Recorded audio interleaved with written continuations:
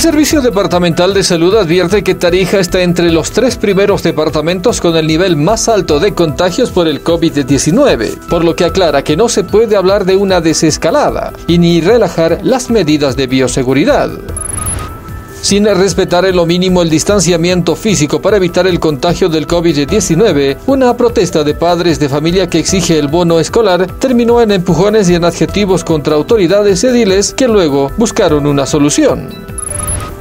El pedido de auditoría a la OEA por parte de la vocal del Tribunal Supremo Electoral Rosa Baptista dio un giro en las protestas a nivel nacional. Empero los cívicos en Tarija dudan de la transparencia de Baptista, mientras Comunidad Ciudadana exige un informe al órgano electoral debido al accidente en Potosí donde un bus de la empresa Expreso Tarija chocó contra un muro y provocó la muerte de su conductor, la policía supervisará los relevos de choferes que exige la norma. Un operativo por el retén de control de Santa Ana derivó en la aprehensión de un sujeto chileno, acusado de supuestamente raptar a su hijo menor de edad desde la ciudad de Yacuiba.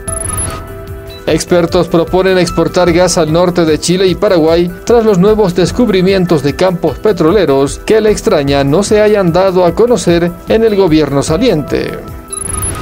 Mientras mujeres que exigen fuentes de empleo anuncian radicalizar sus medidas, la gobernación reconoció que no hay los recursos suficientes y que dice que esta demanda debe ser acompañada por la Asamblea Departamental y el Gobierno Nacional a través de programas.